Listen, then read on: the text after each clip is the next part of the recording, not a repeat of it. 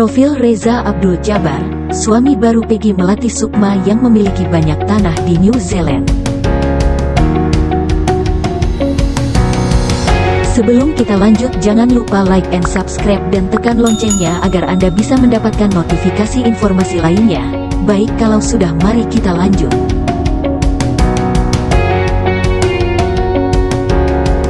Pria bernama Reza Abdul Jabar sukses mengakhiri 11 tahun masa janda Peggy Melati Sukma.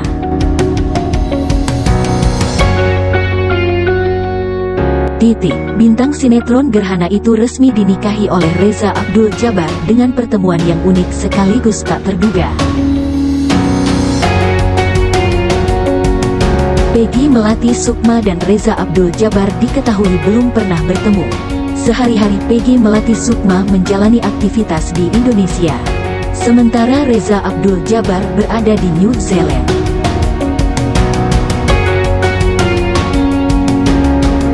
Gak pernah ada hubungan, gak pernah tahu, gak pernah ketemu, kata Reza Abdul Jabar mengisahkan pertemuannya dengan Peggy Melati Sukma.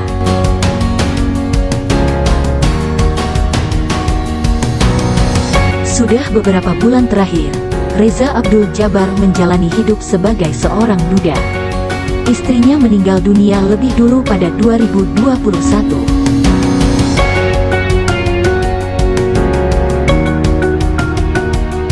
Reza Abdul Jabar adalah saudagar kaya peternak sapi asal Indonesia yang memiliki lahan beberapa hektar di New Zealand.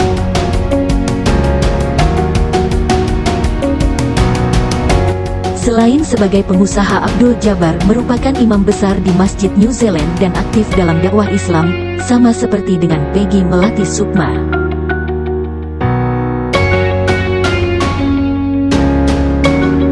Melalui tayangan YouTube Cerita Untung Siang tayang tanggal 1 Februari tahun 2023, Peggy Melati Sukma dan Reza Abdul Jabar mensyukuri pertemuan singkat mereka yang berujung pernikahan.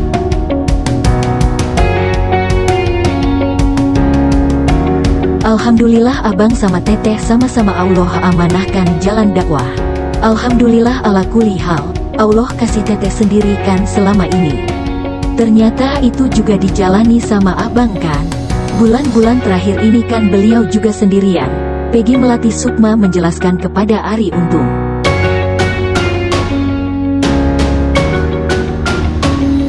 Reza Abdul Jabar bersyukur mendapatkan pendamping seperti Peggy Melati Sukma. Ia menilai, Peggy Melati Sukma memiliki pandangan yang sama terhadapnya karena aktif menjalankan aktivitas dakwah.